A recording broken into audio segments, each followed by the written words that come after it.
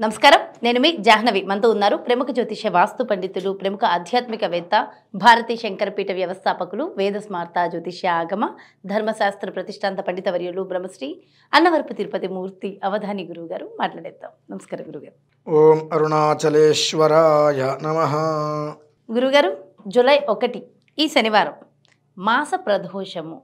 చాలా విశిష్టమైన రోజు అని చెప్తున్నారు. ఏమిటి ఆ రోజుకున్నటువంటి విశిష్టత? ఓం శ్రీ మహాగణాధిపతయ నమో నమ. మీరు అన్నట్టుగా ఒక రకంగా చాలా విశేషమైంది రండి ఇది. ఎట్లా అంటే మనకు రెండు ఆయనాలు ఉంటాయి దక్షిణాయనం ఉత్తరాయణం దీంట్లో ఉత్తరాయణం అనేటువంటిది మనం దేవతా పూజలు చేస్తూ ఉంటాము. దక్షిణాయనం అనేటువంటిది విశేషంగా అనుష్ఠానాలకి యజ్ఞయాగాది క్రతువులకి భగవంతుల్ని ఉపాసించడానికి చాలా విశేషమైనది. అందులో ఇవాళ మనకు తొలి ఏకాదశి తొలి ఏకాదశి తర్వాత వచ్చేటువంటిది ప్రధానంగా ప్రప్రథమంగా శని త్రయోదశి. ఇది మనకు అనురాధ నక్షత్రం మీదుగా వచ్చింది. శుభయోగముతో కూడే వచ్చింది. ఆ యోగం కూడా శుభయోగం. అంటే మామూలుగా యోగాలు చాలా ఉంటాయి. ఆ ఒక్కొక్క రోజు ఒక్కొక్క యోగంతో ప్రారంభమవుతుంటుంది. ఆ రోజు నాడు శుభయోగంతో ప్రారంభమైంది. ఆయనమునందు దక్షిణాయనమునందు ఆది శని త్రయోదశి. ఈ ఆది శని త్రయోదశి అనేటువంటిది చాలా నిజంగా కూడా చాలా విశేషమైనటువంటిది. ఆ ఆది శని త్రయోదశి రోజు నాడు కొన్ని విధానాలుగా ఈశ్వరుణ్ణి శనీశ్వరుణ్ణి కనుక అర్చించినట్లయితే ఖచ్చితంగా అంత్య శని త్రయోదశి కల్లా సుఖక్షేమం అయితే వస్తుంది. అంత్యశని త్రయోదశి అంటే? దక్షిణాయనంలో చివరిది. చివరిది. దక్షిణాయనంలో వచ్చే శని త్రయోదశి వీటికి అంత్య శని త్రయోదశి ఆది త్రయోదశులుగా రెండు ఉంటుంటాయి ప్రతిదానికి కూడా. అంటే ముఖ్యమైనవి నాలుగు త్రయోదశులు శనివారంతో కలిసి వచ్చేటువంటివి. అయితే అందులోనూ కూడా శని నక్షత్రంతో కూడి వచ్చేవి తక్కువ. శని త్రయోదశి మామూలుగా వస్తే ఉంటుంది దానికి పెద్దగా మనం చెప్పుకోకర్లా. కానీ శని నక్షత్రంతో కూడి వచ్చేటువంటి శని త్రయోదశి విశేషమైంది. అందులోనూ పౌర్ణమికి ముందు వచ్చింది ఇది. గురు పౌర్ణమి. పౌర్ణమికి ముందు. వచ్చింది. ఇవన్నీ కూడా విశేష ఆకృతులుగా ధర్మశ్చతుష్పాత్లాగా కలిసి రావటం. ఒక రకంగా అయితే యోగదాయకమే. మామూలుగా శని త్రయోదశి అయితే కనుక నేను దాని గురించి అసలు అవసరం లేదమ్మా ఎప్పుడు వచ్చేది కదా అని చెప్పేవాడిని.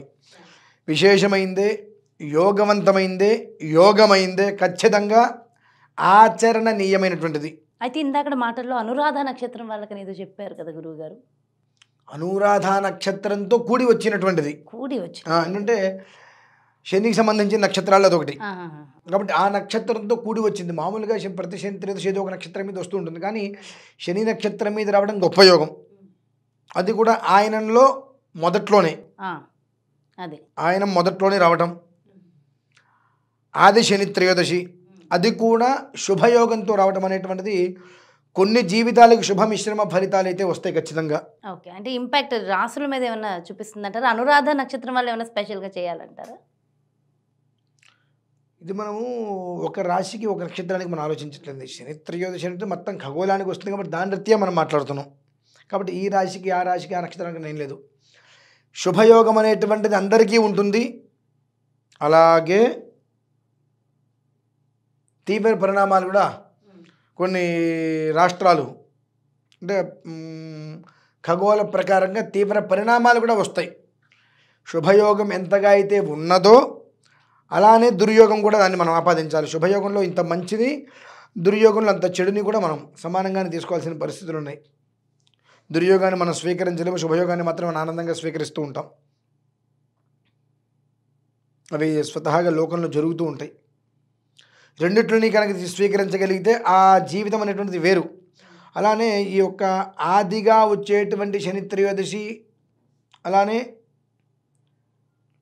ప్రదోషకాలం ఉంది. మాస ప్రదోషం. ప్రదోషకాలము ఉంది. నక్షత్ర విధానము ఉంది. శుభయోగము ఉంది.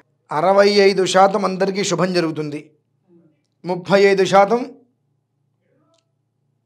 ప్రకృతి వికృతి. ముప్పై ఐదు శాతం వికృతి నడుస్తుంది. కానీ ఈ ప్రకృతి ఉన్నటువంటి అరవై ఐదు శాతం వికృతి ముప్పై ఐదు శాతంతో పోలిస్తే అది కనిపించదు మనకు. ఆ రకంగా వికృతిని మనం చూస్తాం. అంటే అయితే నెగిటివ్ని మనం ఇన్ఫ్యాక్ట్ ఎక్కువ చూస్తాం. ఎంత పాజిటివ్ ఉన్నప్పటికీ కూడా దాన్ని మనం చిన్న నెగిటివ్ పాజిటివ్ మొత్తం తీసేస్తుంటాం అది మన లక్షణాలు అది వేరే విషయం. అయితే ప్రతి ఒక్క మనిషి ఆ రోజు నాడు సాయంత్రం టైంలో మూడు గంటల నలభై ఐదు నిమిషాల నుంచి ఐదు నలభై ఐదు నిమిషాల వరకు అంటే ఒక రెండు రెండున్నర గంటలు మూడు నాలుగు ఐదు నలభై ఐదు అంటే రెండు గంటల సేపు చక్కగా మనకు నువ్వుల నూనె దొరుకుతుంది. లేదా శ్రేయస్కరమైన నువ్వుల నూనె శ్రేష్టమైంది. నువ్వులు తెచ్చుకొని దంచి. కొన్ని మిషన్స్ కూడా దొరుకుతున్నాయి. మిషన్స్ ఎందుకమ్మా. నువ్వులు తెచ్చిన రోట్లో శుభ్రంగా దంచి అది ఒక బట్టలో క్లాత్లో వేసి శుభ్రంగా మెత్త గట్టిగా పురిపెట్టి పిండితే నొక్కితే ఒక్కొక్క చుక్క నువ్వులు వస్తూ ఉంటుంది. ఉమ్. శన్యరిష్టే తు సంప్రాప్తే శని పూజ అంచకారయేతు. శని ధ్యానం ప్రవక్ష్యామి ప్రాణపీడోపశాంతయే.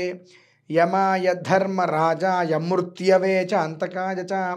వైవస్వతాయ రుద్రాయ కాలాయ పరమేష్ఠినే నమ.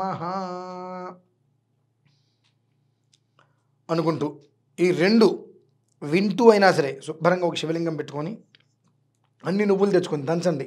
ఒక వస్త్రంలో వేయండి. గట్టిగా తిప్పి పిండుతుంటే ఒక్కొక్క చుక్క నూనె పడుతుంది. అంత తీసుకొచ్చి మనం పోయొక్కర్లా. కనీసం అలా ఒక్కొక్క చుక్క తప్పన పంతొమ్మిది చుక్కలైనా సరే రాల్చగలిగితే నిజంగా యోగమే.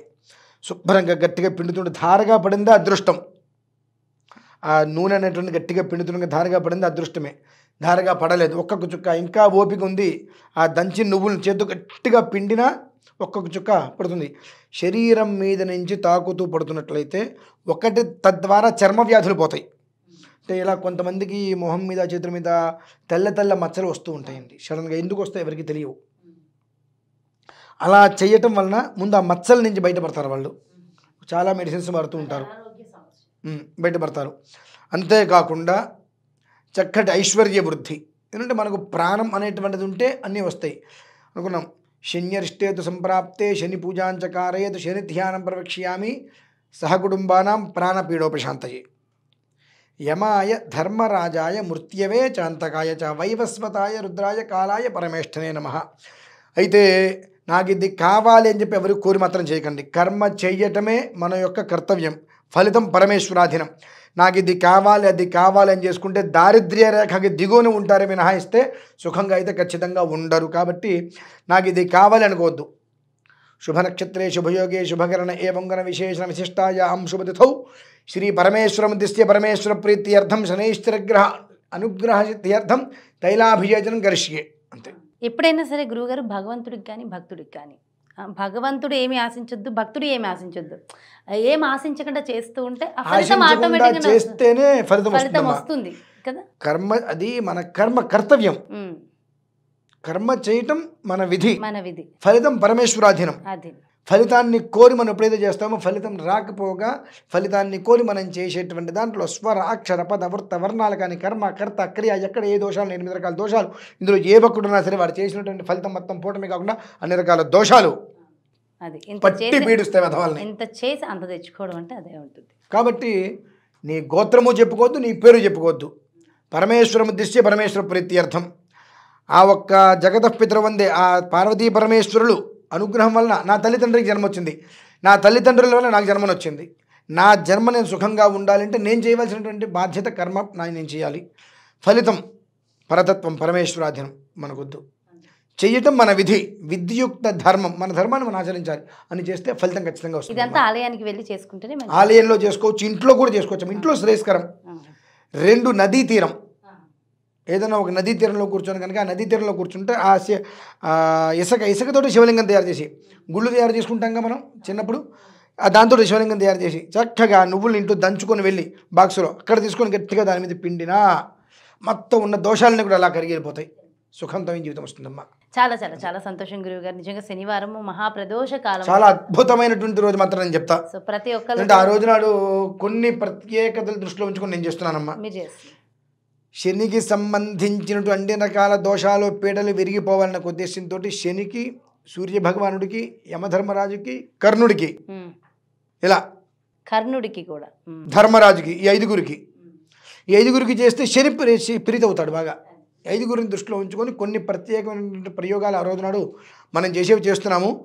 కానీ ప్రతి ఒక్క మనిషికి తెలియజేస్తే వాళ్ళు ఈ రకంగా నదీ తీరము అక్కడో ఇక్కడో ఎక్కడో అక్కడ కూర్చొని చేసుకోగలిగితే అదృష్టవంతులు అవుతారమ్మా చాలా చాలా చాలా సంతోషం గురుగారు. చాలా చక్కటి అంటే వివరణ ఇచ్చారు. ముఖ్యంగా ఒక శనివారం అనేది ఈసారి వచ్చేది చాలా విశిష్టం కదా. చాలా చక్కగా అందించారు గురుగారు. థ్యాంక్ యూ సో మచ్ నమస్కారం. సో చూశారు కదండి ఈ శనివారం మాస ప్రదోష కాలం అట. మరి ఆ సమయంలో చాలా విశిష్టం. ముఖ్యంగా శనివారం మొత్తం కూడా ఈ విశిష్టత దాగి ఉంది. సో ఖచ్చితంగా మరి గురువుగారు చెప్పిన విధి విధానాల ప్రకారం చేసుకోండి. స్వామివారిని మనస్ఫూర్తిగా ధ్యానించుకోండి. చక్కటి జీవితం అందరికీ వస్తుంది. మరో చక్కటి కార్యక్రమంతో మళ్ళీ మీ ముందుకు వచ్చేస్తాను. నమస్కారం.